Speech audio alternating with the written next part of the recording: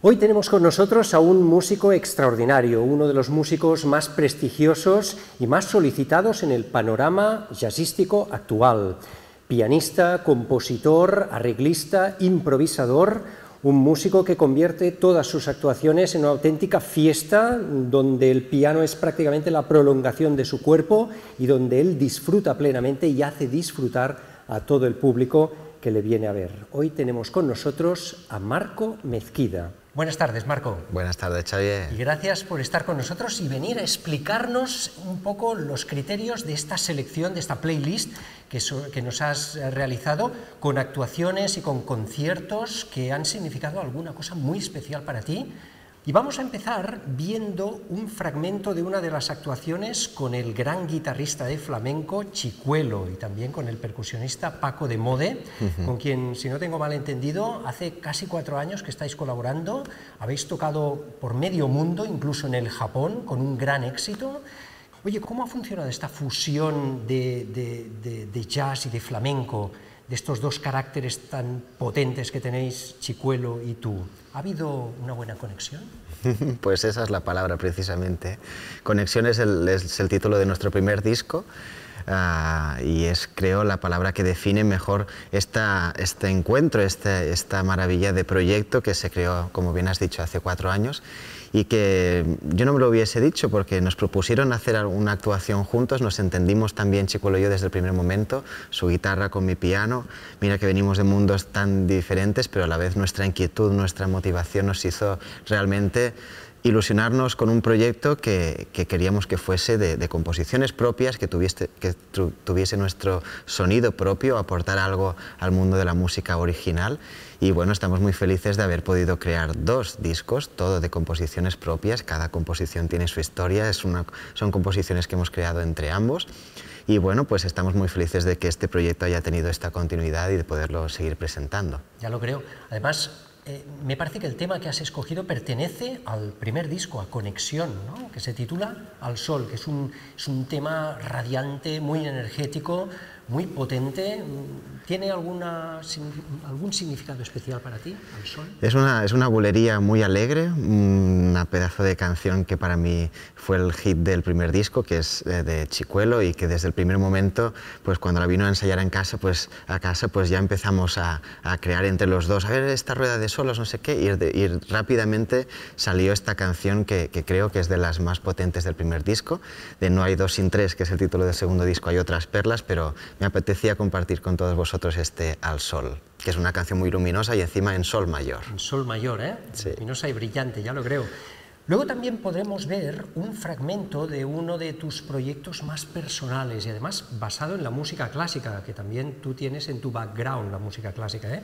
Tú me parece que te has hartado de tocar preludios y fuga y corales de Johann Sebastian Bach en el gran órgano monumental que tenéis en la catedral en Menorca, en tu tierra, ¿verdad? También, también. Te tenemos que imaginar de jovencito tocando el órgano, el gran repertorio de Bach. ¿no?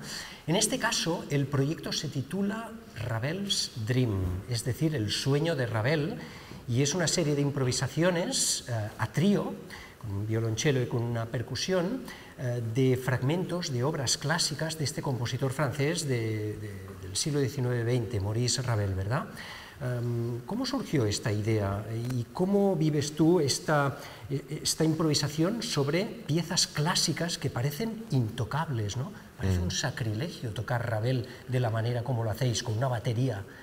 Es realmente fascinante. Sí, esto fue un encargo del Auditorio de Barcelona en 2017, que me dijeron, Marco, tu pianismo nos recuerda un poquito a este pianismo impresionista francés, esta, esta cuestión colorística, uh, y, y dijeron, ¿por qué no preparas algo sobre Ravel, con la música de Ravel, como tú quieras? Puede ser una formación más pequeña, más grande, y visualizo una formación con dos músicos portentosos que son Aleix Tubías a la percusión y a la multipercusión y batería, y Martín Meléndez al violonchelo.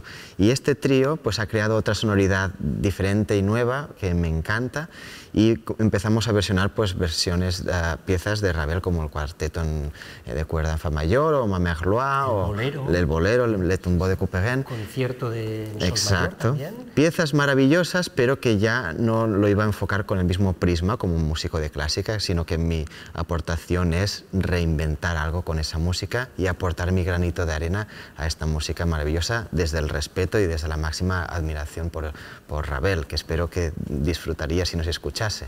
Completamente de acuerdo contigo, estoy seguro de que Ravel se lo pasaría de maravilla escuchando tus versiones. Luego podremos ver un fragmento que no es propiamente un concierto ni una actuación, sino un teaser de uno de los proyectos más recientes que tienes, realmente muy bonito, con Silvia Pérez Cruz, cantante y guitarrista, con quien también has hecho un montón de actuaciones y precisamente en unas actuaciones que habéis hecho ahora en octubre de 2019 en Tokio, en el Blue Note de Tokio, de allí salió un disco que no sé si ha salido ya o está a punto de salir, lo vais a presentar ahora en un montón de conciertos de verano por toda España, ¿verdad? Y que además se titula Ma, que es una palabra como un poco enigmática, un proyecto muy bonito con Silvia Pérez Cruz. ¿Qué significa Ma, el título del disco? Ma es un concepto japonés que nos encantó cuando lo descubrimos.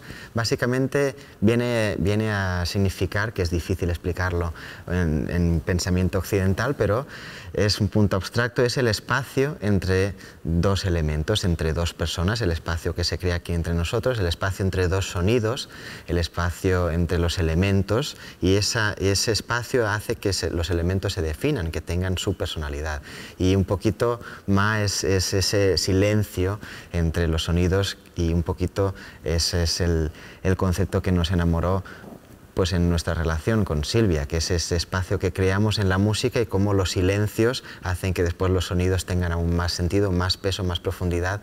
Y bueno, Ma Life in Tokyo es, eh, es, es, lo que ha salido de esas tres actuaciones en el prestigioso Blue Note de Tokio y estamos queriéndonos, compartiendo, volando, jugando, eh, respetándonos, ofreciendo lo mejor en cada nota de cada uno de nosotros, en cada nota y en cada silencio para ofrecer lo que más nos gusta hacer, que es hacer música desde el corazón, desde la profundidad y de verdad que es un disco que nos ha gustado mucho presentar ahora en época de confinamiento, pero que vamos a publicar físicamente en, durante este verano.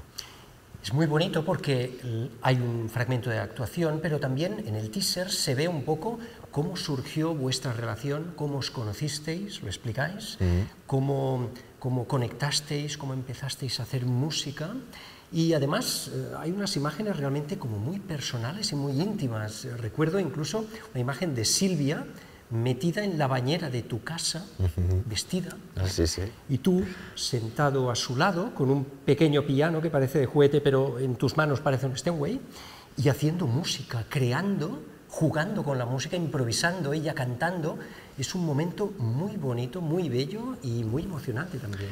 Y muy natural, porque fue básicamente la primera o la segunda vez que vino Silvia a casa. Era la segunda, la primera ensayamos, la segunda hicimos una sesión de fotos y cuando ella fue al baño dijo, me encanta la luz del baño. Yo que había preparado la casa limpísima, las telas, no sé qué, y de repente la luz es preciosa aquí. Y el fotógrafo le encantó y, y, y ella se puso en el baño, yo me puse en el váter y para hacer algo, pues saqué el pianito de juguete y empecé a jugar con la melodía de No Surprises de Radiohead. Y al final nos gustó tanto ese momento que se convirtió en una de las piezas de nuestro repertorio. Qué bien. No podía faltar en esta selección de, de actuaciones estelares en tu carrera y que tiene un significado muy especial para ti, la actuación que hiciste en solitario en el Palau de la Música Catalana de Barcelona, una actuación que significaba tu debut en esta sala delante de 2.000 personas de público, una actuación en la cual actuaste con piezas tuyas, con estándares, eh, con arreglos y también con mucha improvisación.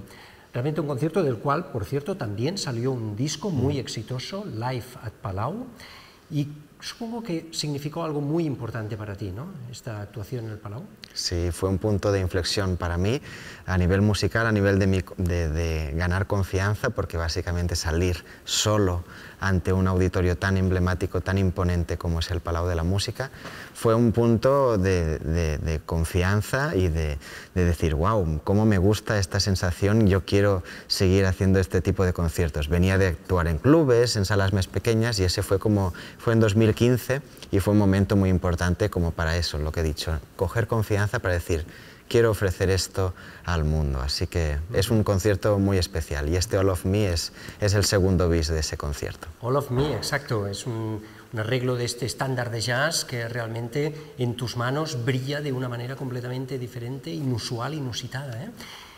Y para acabar, eh, nos has propuesto una primicia, me hace mucha ilusión, porque me parece que es un teaser, es un vídeo que aún no se ha hecho público, por tanto ahora tenemos la oportunidad de descubrirlo, y que pertenece a este nuevo proyecto que tienes ahora mismo entre manos, que es un proyecto también a trío, con obra tuya, no sé de qué estilo, no sé de qué género, pero realmente vas a sorprendernos, segurísimo, y que lleva por título Talismán. Explícanos un poquito de qué va este proyecto. Bueno, Talismán va a ser el título de mi próximo disco que publicaremos en, en otoño.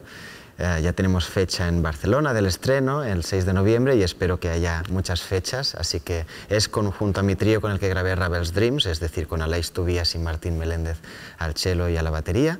Y bueno, me ilusiona muchísimo porque son mis últimas composiciones, mis pequeñas perlas negras que con mucho cariño y mucha humildad pues he ido creando durante este último año y medio y me hacía mucha ilusión grabarlas con ellos, así que ese va a ser mi disco talismán y estaré encantado de de enseñároslo cuando esté publicado. Qué bien, primicia absoluta. Pues muchísimas gracias, Marco. Ha sido un placer hablar contigo y descubrir estas intimidades, estos secretos.